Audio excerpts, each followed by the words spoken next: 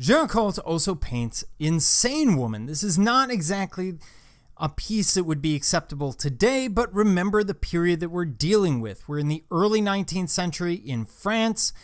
Things are very, very different. Now, at the time, mental illness was of great interest to the Romantics. What's happened here is the artist is studying it through facial expression.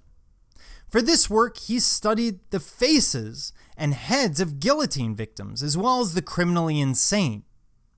Now, this scientific curiosity often accompanied the morbidity that's so common in the romantic interest in derangement and death.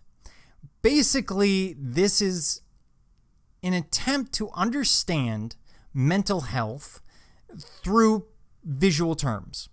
It's very similar to, for example, reading the bumps on a skull or ethnographic studies that we'll see later on at the end of the 19th and early 20th centuries, where they tried to visually capture the different characteristics of peoples from different areas.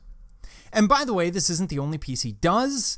This is a whole series, or there is a whole series. So this is one of several portraits of the insane done by Géricault. Now, the piece is amazingly realistic compared to the idealization that we're used to from the Renaissance and the neoclassical. Again, what they're trying to do is take human psychology, something that cannot be captured in concrete terms. Even today, we really can't capture it. And he's trying to do so. He's trying to show us mental health through its physical manifestation. So, looking at this woman, we're supposed to see the reddened eyes, the asymmetries of the face, that awkward smile as key elements in her mental health, as if these sorts of things are the sorts of things we can look for and pick people out in a crowd and go, You, you need to go to an institution just to, you know, get you off the streets.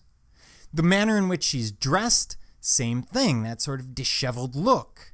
He's not doing her any favors. He's not trying to idealize her in any way. Instead, he's trying to be as realistic as possible. But the fact that he's trying to capture mental health, that is what makes this romantic.